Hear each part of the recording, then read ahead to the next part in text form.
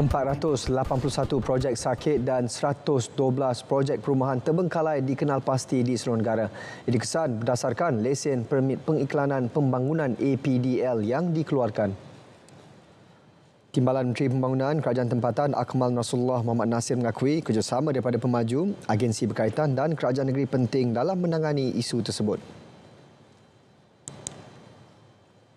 Kemajuan di tapak itu ada masalah yang tersendiri.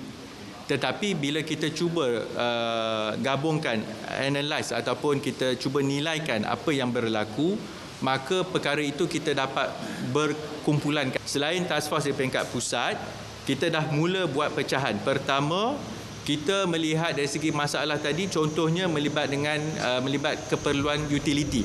Yang akan datang kita akan uh, bincang dengan uh, SPAN untuk tengok pula dari segi keperluan air pembentungan dan sebagainya. Yang kedua adalah berbincang dengan pihak yang mempunyai kuasa di peringkat pelaksanaan.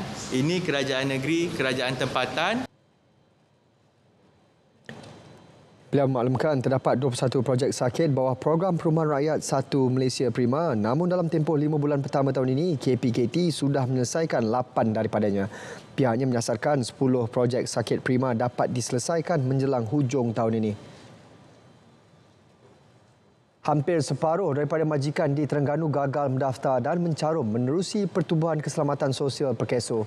Ia melibatkan 43.6% majikan daripada 585 pemeriksaan yang dijalankan di premis tumpuan sepanjang bulan lalu. Pengarah Keso Negeri Fariha Cik Hussein berkata pelbagai alasan diberi semasa pemeriksaan op pemutihan dijalankan.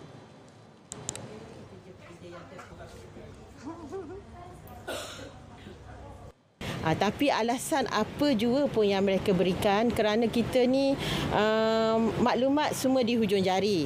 Yang keduanya uh, bukan uh, orang kata kalau mereka tidak mampu nak pergi ke pejabat perkeso mereka masih boleh lagi menggunakan uh, aplikasi digital ya kita pun ada uh, lambang web portal yang boleh mereka laksanakan uh, pendaftaran ini secara online sahaja Beliau menyatakannya selepas meninjau pemeriksaan op pemutihan di Kuala Terengganu. Jelas beliau, tumpuan diberi kepada premis yang baru beroperasi serta perusahaan yang menjalankan perniagaan sehingga lewat malam.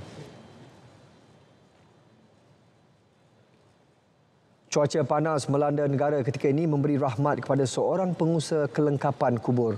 Muhammad Azhar Mat Arifin dari Felda Ciku 2, Gua Musang Kelantan berkata batu nisan atau belindan yang kering dengan sempurna akan meningkatkan lagi ketahanannya.